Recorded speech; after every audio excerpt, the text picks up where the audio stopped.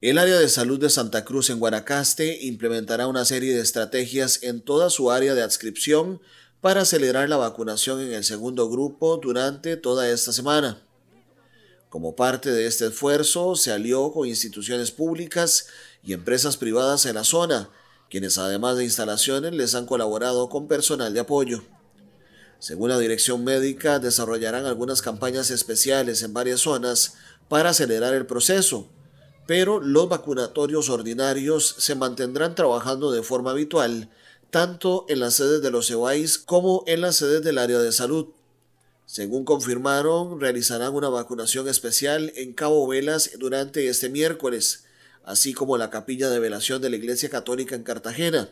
Para el jueves, la campaña especial regresa a Brasilito y se realizará otra en Villarreal, todas con primera dosis.